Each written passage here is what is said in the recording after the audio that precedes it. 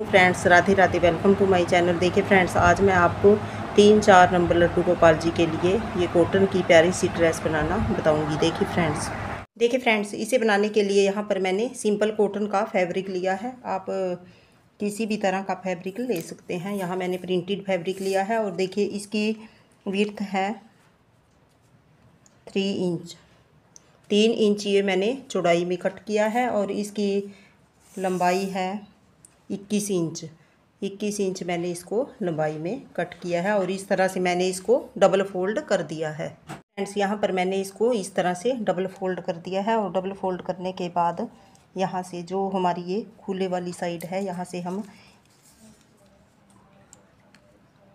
सात इंच पर एक निशान लगाएँगे।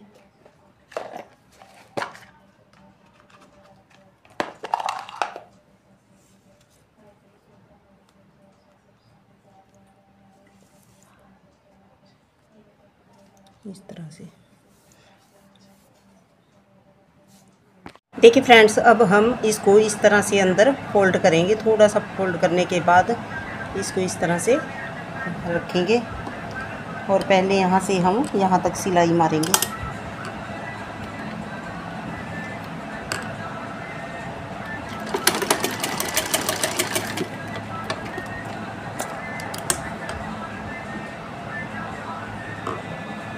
अब देखिए इस तरह से छोटी छोटी हम प्लेट्स डालेंगे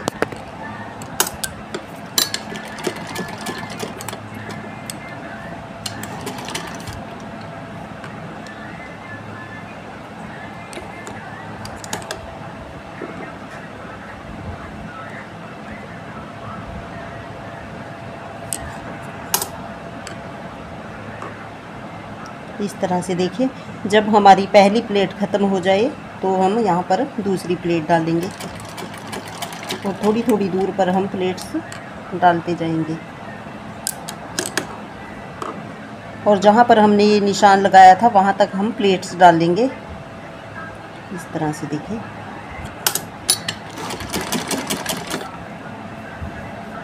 अब देखिए, आगे हम यहाँ पर प्लेट्स नहीं डालेंगे, जहाँ पर देखिए, इतनी सिलाई हम यहाँ पर ऐसे ही लगाएँगे।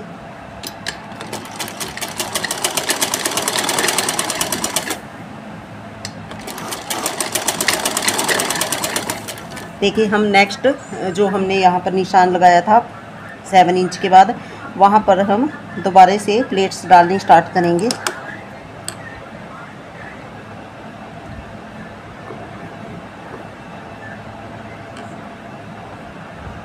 देखिए, इधर वाली साइड भी बीच में हमने यहाँ पर सीधा बनाया, उसके बाद फिर से हम यहाँ पर प्लेट्स डालेंगे।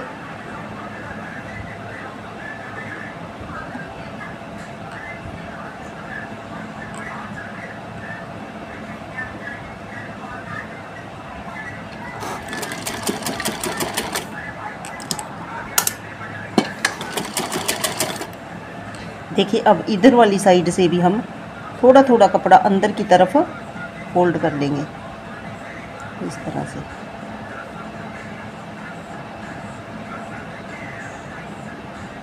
इस तरह से लोक हो जाएगा ये हमारा। और एक प्लेट प्लेट्स यहाँ पर डालेंगे।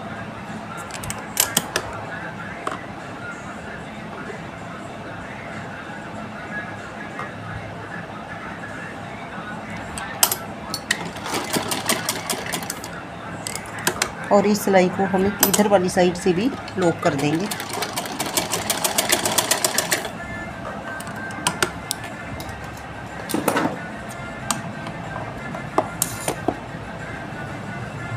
अब देखिए, इस तरह से हमारे बनकर तैयार हुए हैं। अब देखिए फ्रेंड्स, यहाँ पर मैंने एक पट्टी और कट की है और इसकी यहाँ पर चौड़ाई हमने डेढ़ इंच के करीब ली है। और लंबाई हमने ऐसे ही ले ली है, थोड़ा सा लंबा कट किया है। अब देखिए, यहाँ से हम इसको इस तरह से रखेंगे। और यहाँ से यहाँ तक लास्ट तक हम यहाँ पर एक सिलाई लगा लेते हैं। देखिए फ्रेंड्स यहाँ से यहाँ तक मैंने एक सिलाई लगा ली है। अब देखिए, यहाँ पर हम इस तरह से इसको सीधी तरफ़ पलटेंगे। और इस तरह से देखिए इसकी पाइपिंग निकाल लेंगे। इस तरह से। ये बहुत ही आसानी से हमारी पाइपिंग निकल जाएगी। आप चाहे तो यहाँ पर रेडीमेड पाइपिंग का भी यूज़ कर सकते हैं।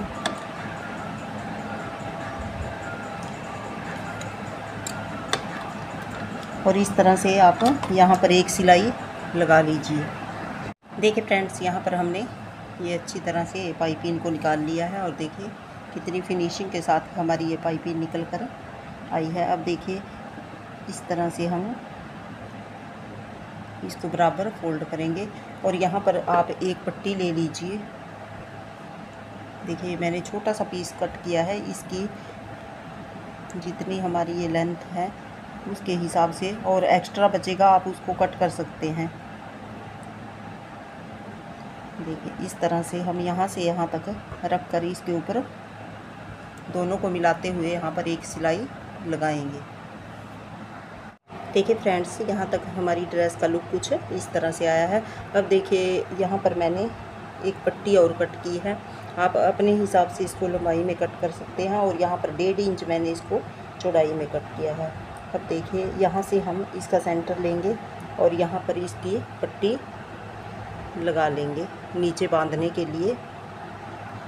देखिए फ्रेंड्स यहाँ पर हमने इस तरह से पट्टी को जोड़ दिया है और इस तरह से हम गले में पहनाने के बाद इस तरह से बैक की तरफ़ फोल्ड करते हुए यहाँ से इस तरह से हम इसको आगे की तरफ़ बाँध देंगे।